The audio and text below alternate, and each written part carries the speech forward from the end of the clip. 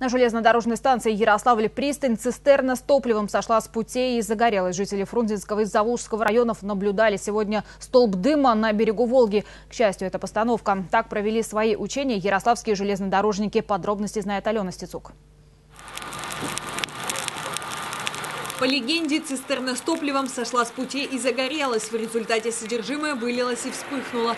Кроме того, пострадали двое человек. Первым делом территорию чрезвычайной ситуации с помощью кинологов и беспилотника осматривают на предмет угрозы взрыва, чтобы избежать дополнительных жертв. Только после начинается спасательная операция. Устранить возгорание топлива прибывают спецслужбы.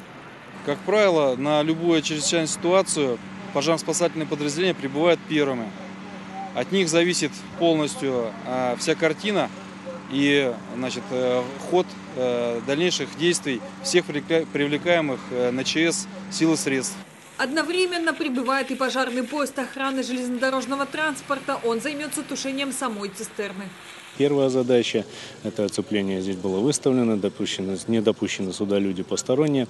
А вторая задача, которую мы выполняли, это совместно с Министерством по ликвидации чрезвычайных ситуаций мы ликвидировали пожар Пожар потушен, теперь нужно ликвидировать последствия, в первую очередь опасные для окружающей среды. Устраняет вред, нанесенный пролитым топливом, служба «Экоспас». Производится разведка вместе ЧС. Вот. Потом для локализации выкладываются береговые боны или речные боны, ну смотря где, значит, э, розлив нефтепродукта.